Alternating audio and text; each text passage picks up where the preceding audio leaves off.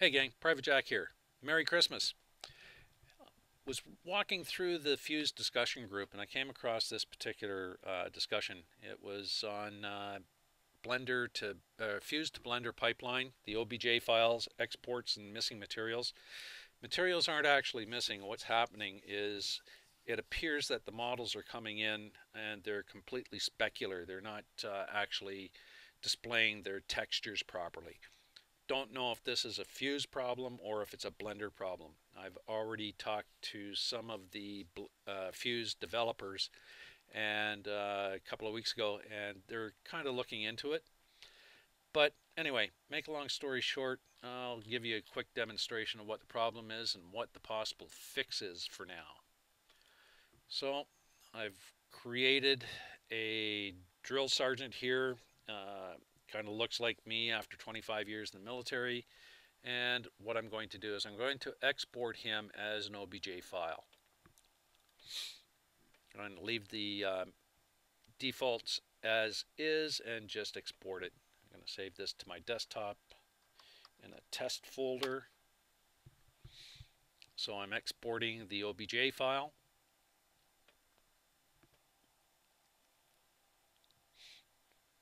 I'm going to minimize that and I'm going to open up a brand new install of Blender 2.72 Bravo.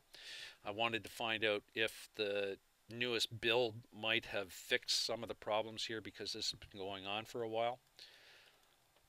So I'm going to load up Blender 2.72 Bravo. Get rid of the splash screen, kill the cube, and I'm going to import that OBJ file. Now I've got all as many plugins plugged into this thing as I possibly can and plus a few extras and let's see go to my desktop go into that test folder and open up the test obj so here's our little drill sergeant. Put that cursor back in the center where it belongs and I'm going to put it into ortho view and on top of that, I'm going to select the objects and smooth them out. So here he is. Now, if I go and I open up the uh, menu here and I turn on my shading and turn on the textured solid, what's going to happen is this model is going to look like it is completely textured properly. However, if I go in and I do a render, and before I do that, I'm going to add a, a lamp.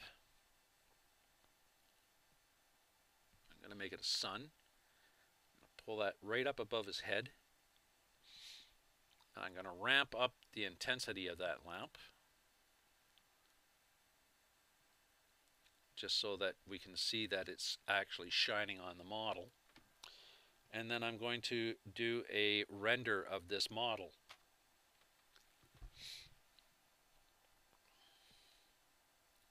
And I think I'm going to have to reset my camera. I, I know I'm going to have to reset my camera. okay, turn the clipping down, turn the clipping way up.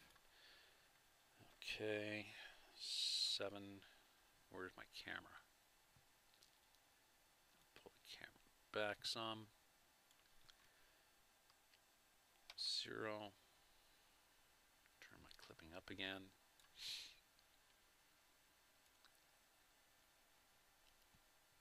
Want to be able to get them all in there. Grab. There we go. Got them.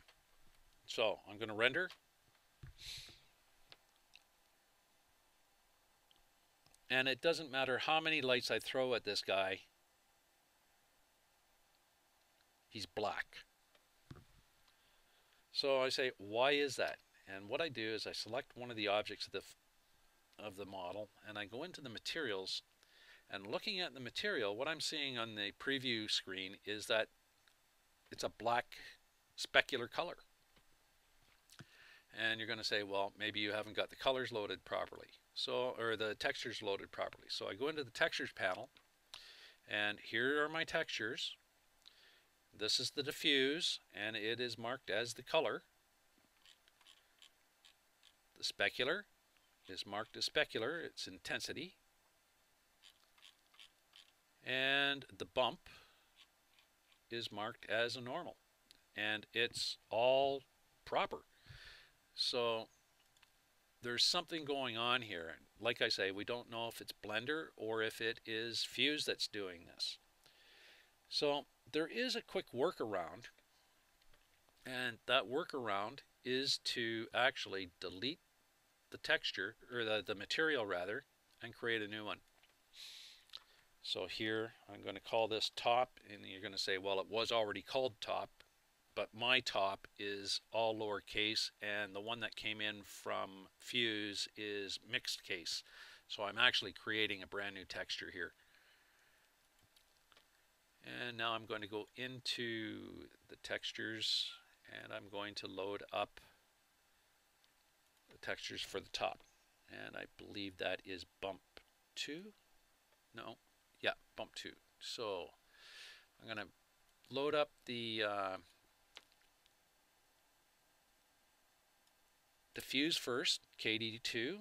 I'm going to load up the specular second, KS2, and I'm going to load up the bump third, bump 2. And what I have to do is now I have to come down to the influences and actually fix these up. I've got to turn off the color for the bump and make it a normal map. Come back up here, select the secular, uh, the uh, specular, come down here, turn off the color and make it an intensity. And if I come into the model now and I do a render,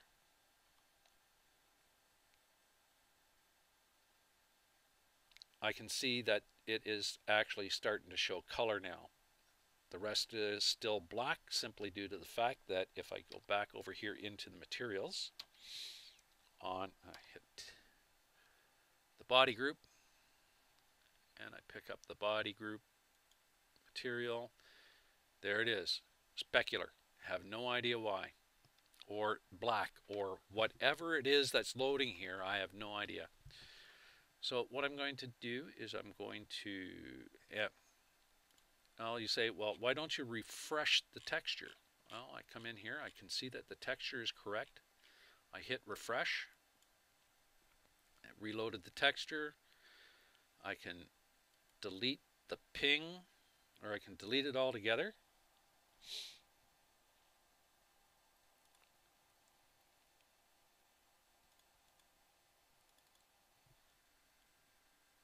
Now I have to load up, okay, KS2, okay. Come back over here, and it's still specular. I don't know what this problem is. So the workaround, delete the texture or the material, add a new material, rename it completely,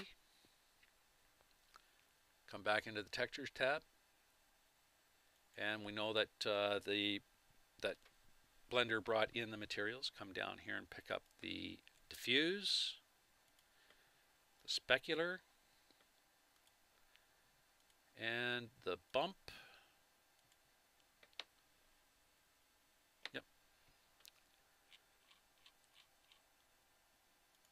Correct the influences. Come on, get up there.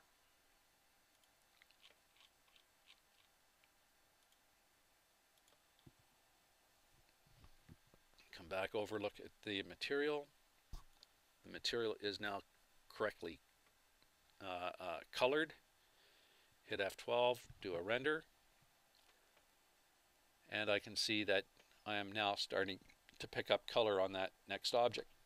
So that is your quick fix uh, to get your colors onto your model so that they render properly in Blender.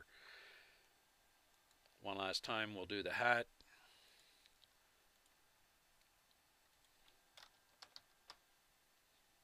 Hat. I deleted the uh, texture, the original texture, created the new hat texture, come into the textures panel that's four. Yeah. So there's my diffuse. My specular will be KS4. I'm glad that Fuse does it that way. Makes things so much easier. The bump, come down here, fix the influences. So the bump, turn off the color, turn on the normal. Pick up the specular, turn off the color, turn on the intensity, and F12. His hat is now colored. And like I say, don't worry about my shine and whatnot else. I haven't really set the model up. I'm just trying to get the textures onto the model. So with that, that is your quick fix for being able to actually render your Fuse OBJ model in Blender. Hopefully this answers a few of the questions out there. And with that, I say Private Jack out and Merry Christmas!